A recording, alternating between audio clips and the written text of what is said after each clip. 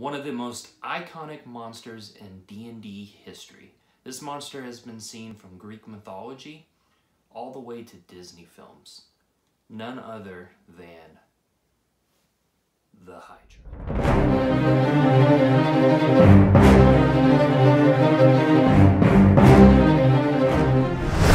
What's up guys? Today we're going to be talking about the Hydra before we paint it. Now, I'm going to go into some lore here coming straight from the Monster Manual. So, the Monster Manual says, The Hydra is a reptilian horror with a crocodilian body and multiple heads on, on long serpentine necks.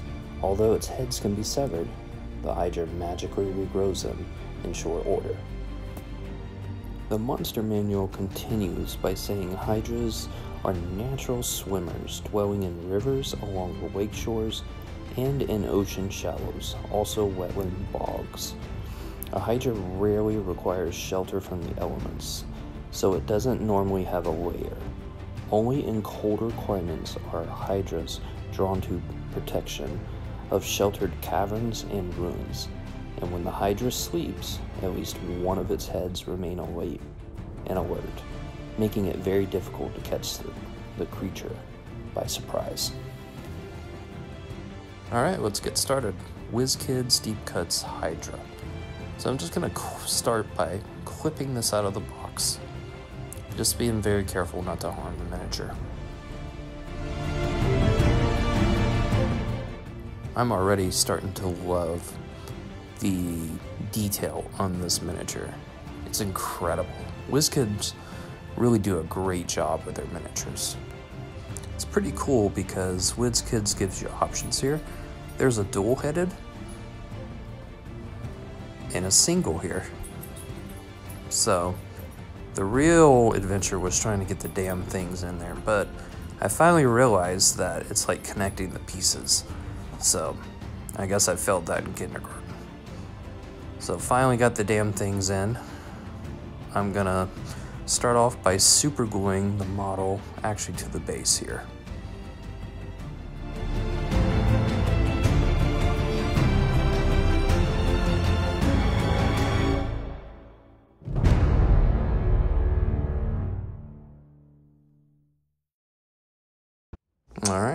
You've all been waiting for. Let's paint. So I'm going to start out with a base coat here. It's called Stained Olive. And I really like this color because it gives you that nasty, murky, green reptilian color. And it's going to capture it very well here, I think. Now, I didn't really prime this model because WizKids does a pretty good job of pre-priming their miniatures. If you want to prime this, by all means go right ahead but I felt like we didn't need to for this. So I'm just making sure to spread out this paint. And what you guys, a little tip here for you guys is you want to thin out your paints so that it gets in all the crevices here. You don't want to leave out that detail. If your paint starts caking up, you're going to not have as much detail because it's going to cover up all the recesses.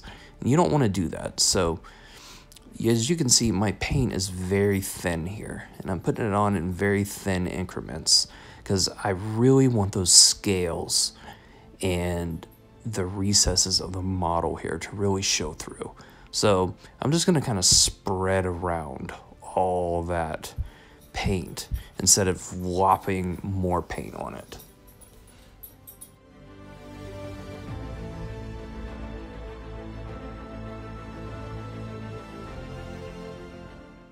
we can't forget about the tail here. So I'm just continuing to spread out this paint here. And I even put a base coat of the stained olive on the base of the miniature here. And I wanted to keep the ground in the same color scheme, almost like the Hydra has some camouflage in the area that it's in. I think it's going to look really good when it's done.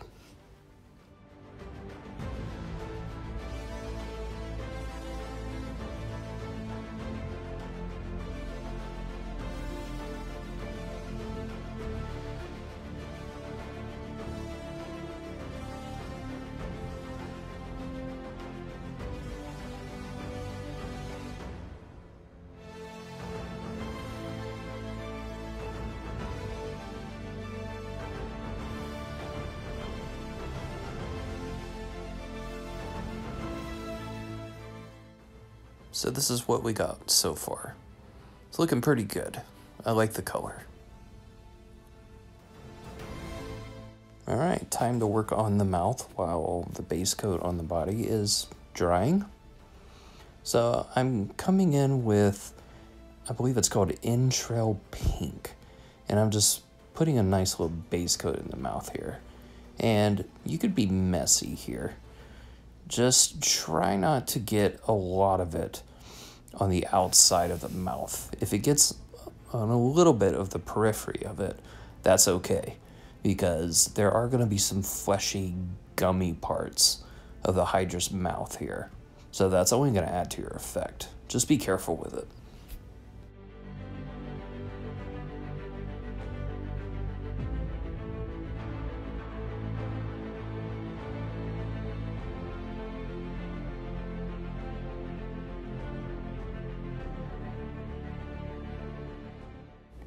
Right, coming along quite nicely. Loving that Entrail Pink in there. Looks pretty good. And guess what, guys? We're going in with a second base coat. Yep, a second base coat here.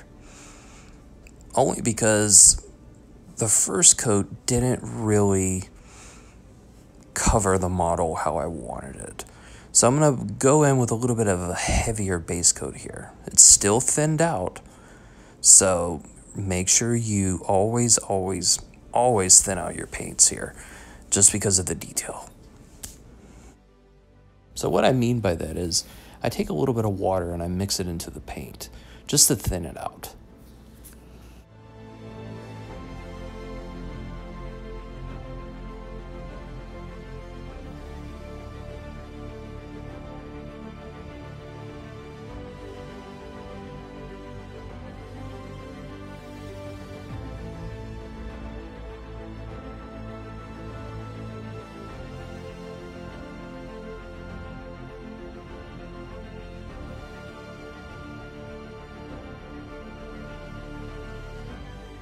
All right, to start on the underside of the Hydra, I guess you can call it the belly or the armor plates, whatever it is.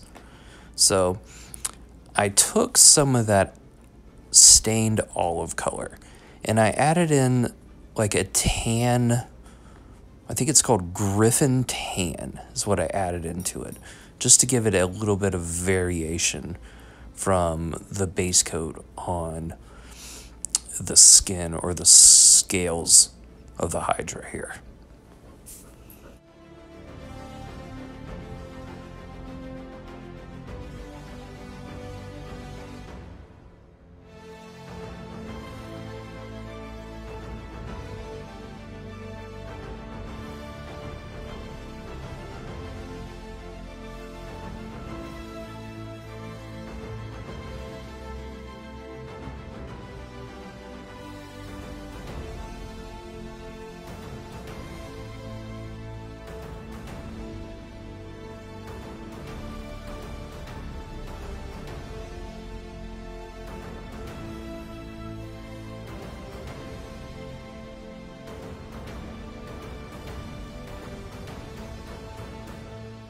And again, just thinning out my paint, rinsing and repeating that step.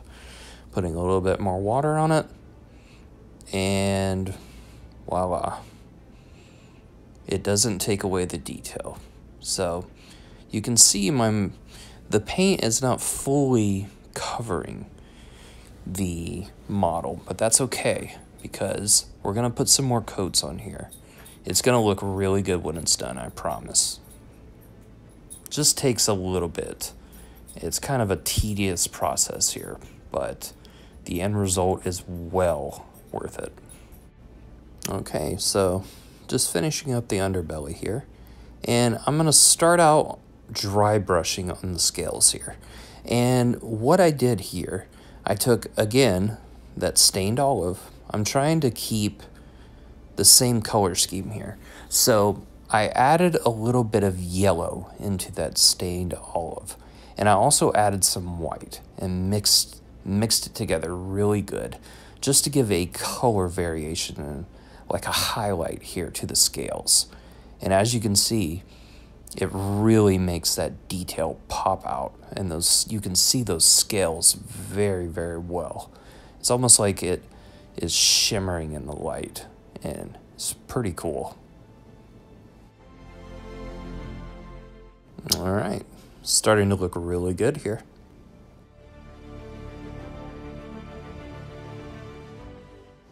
okay so once that dries fully i'm to go in and dry brush some more except this time it's just some yellow here mixed with white.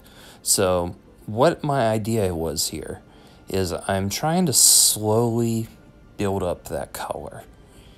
And what I mean by that is I'm going from darkest to lightest here without giving up all that detail. You could just slap on a lot of paint here, but it's not going to look right because you're going to cover up all the recesses. And I know I stress that a lot, but it's a good tip for you guys, and hopefully you learn something.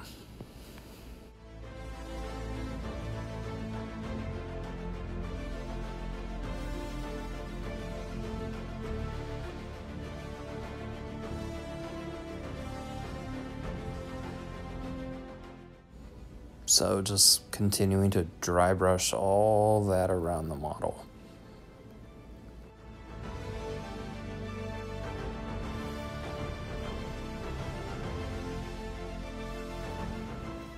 So another tip here when you guys are dry brushing, I don't use my brand spanking new brushes to dry brush. I use my older ones, and the reason being is the more you dry brush, the more it ruins your your brushes. So you want to use an older brush that you're not really going to use for like a smooth base coat, if that makes sense.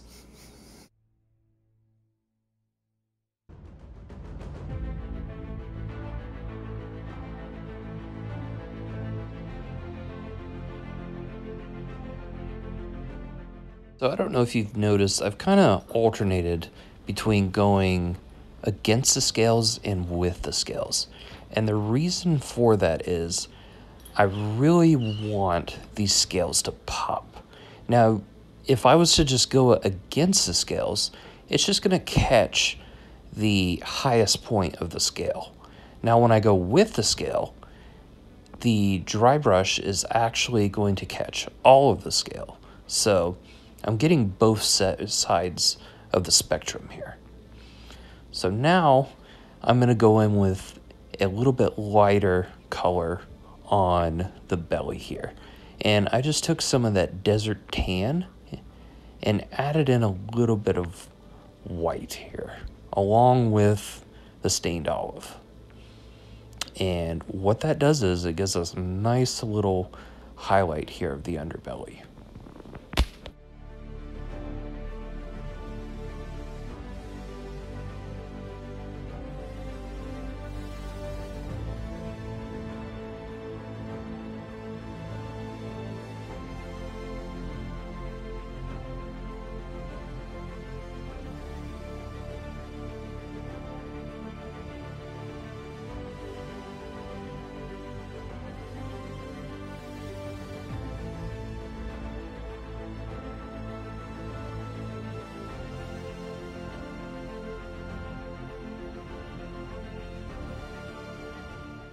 And you guessed it, guys, more dry brushing. So I'm going in here with just some yellow. And that way I'm working directly from darker to light. So as you're going to see here, this is really going to pop out those scales. I love it. So I do apologize. I haven't been explaining how to dry brush. So a lot of you guys are probably experienced painters, but some people might not be. So, how to dry brush? You take a paper towel and you put some paint on your brush. And with that paper towel, you just run your brush back and forth on the paper towel. And you want to wipe off a lot of that paint until you get like a dry feeling on your brush. And then you just go across the model to catch all the, the high points of the model. And essentially, you're painting over the recesses and not covering them.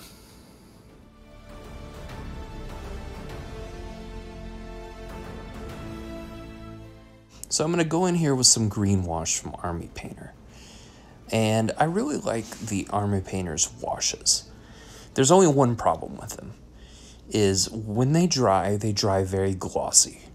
Now that could be a problem if you're painting like some kind of fabric or a cloak, something like that. You don't want your cloak to look glossy. You want it to be like a matte type finish.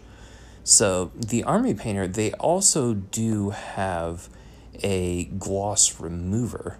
And I use that a lot on fabricy type stuff when I'm using washes. But for this instance, I think it's going to look really good glossy because I want the Hydra to have like a very slimy, wet looking, scaly skin here. It's going to look really nasty. So the thing about washes that you got to remember is on the contrary to dry brushing, washes you want them to go into the recesses. And I want this green wash to go down into the recesses here just to make those scales even pop even more.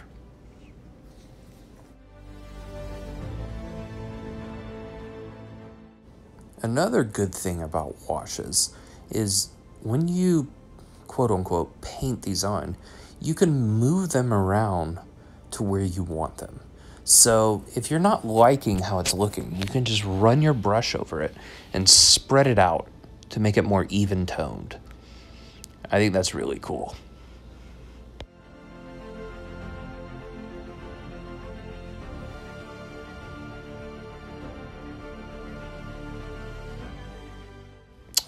Okay, looking good. So while that's drying, I'm to go in with some red wash from Army Painter. And I'm just to put some red wash here into the mouth. And what that's to do is that's to seep into the recesses and create some shadows in the mouth. It's also to look kind of organic and maybe even a little bloody here, which is what I was going for. It looks really good.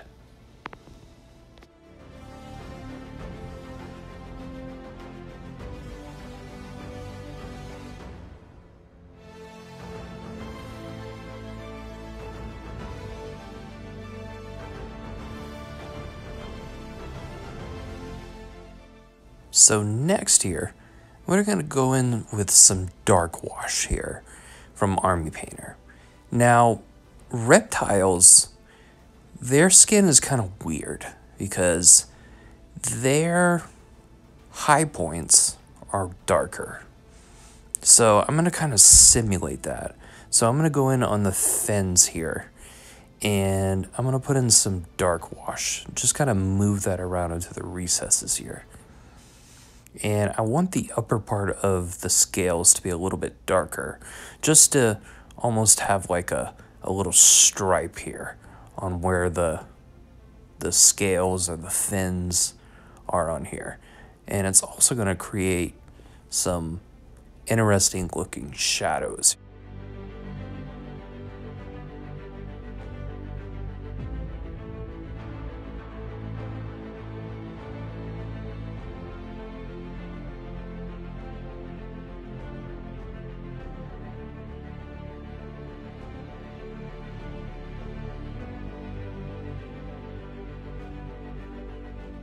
So I'm going to continue on here and I'm going to put some more dark tone on the back of the miniature here just to kind of follow that spine all the way down and just continue moving that wash into the recesses here.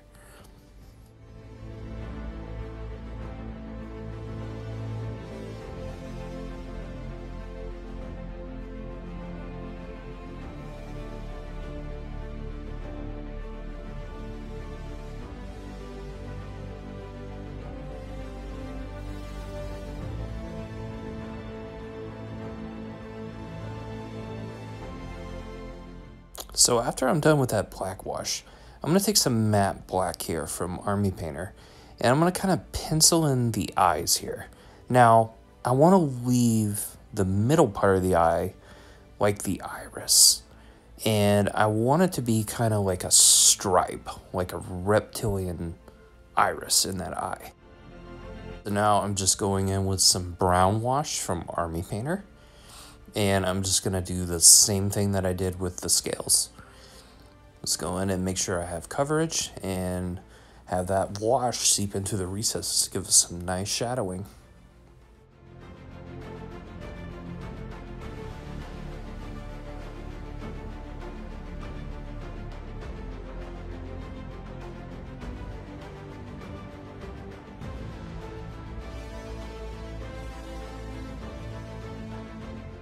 So the model's starting to look really good here. And I think we're almost done with it. So for now, I'm just gonna let it dry. So I'm taking some desert tan here and I'm gonna dry brush the environment that the Hydra is on here. And it's gonna give a nice contrast, but it's gonna be a very similar color scheme to what the Hydra is. And basically how I did that was I just took some of my leftover paint that I already had on my palette and just did my dry brush technique here.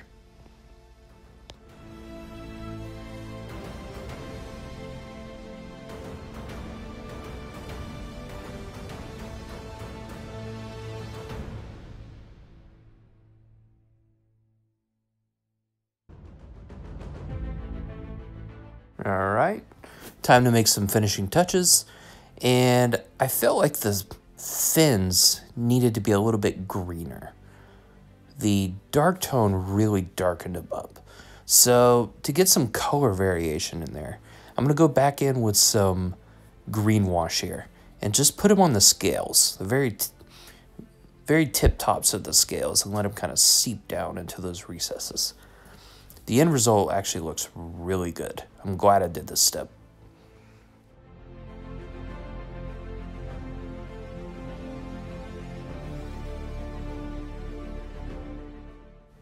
Yeah, definitely time to do some action shots. Let's roll the camera.